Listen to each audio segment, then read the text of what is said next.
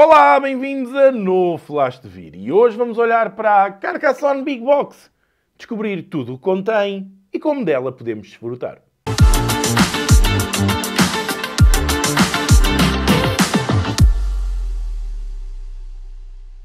Neste grande conjunto de iniciação temos as 71 peças do jogo base, a peça inicial e 40 meeples, 8 de cada uma das cores.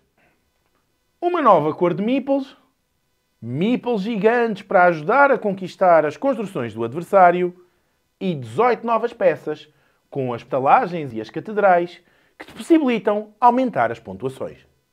Um porquinho de cada uma das cores para aumentar a pontuação dos camponeses, um construtor para jogadas sucessivas e 24 peças repletas de mercadorias que proporcionam 10 pontos a quem apresentar a maior quantidade de cada uma delas.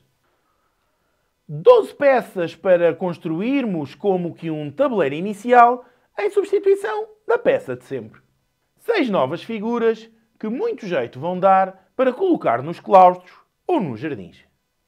8 novas peças e um dado que te possibilita a colocação de meeples sem ser na peça que jogaste.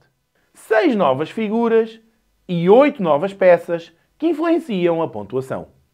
8 novas peças e 8 pontos para nelas colocar de acordo com a preferência dos jogadores. 8 novas peças e 16 barras de ouro para nelas colocarmos, que no final da partida entregam pontos de acordo com a quantidade colecionada. 8 novas peças e o feiticeiro, que aumenta, e a bruxa, que reduz a pontuação. 8 novas peças e 6 novas figuras para beneficiarmos da pontuação dos adversários. 6 novas peças que interferem com os meeples de todos os jogadores. O tabuleiro da pontuação e 8 contadores de voltas. E o melhor de tudo é podermos arrumar cada expansão num compartimento dedicado. Experimenta cada expansão isoladamente. Até ao próximo Flash de Vir.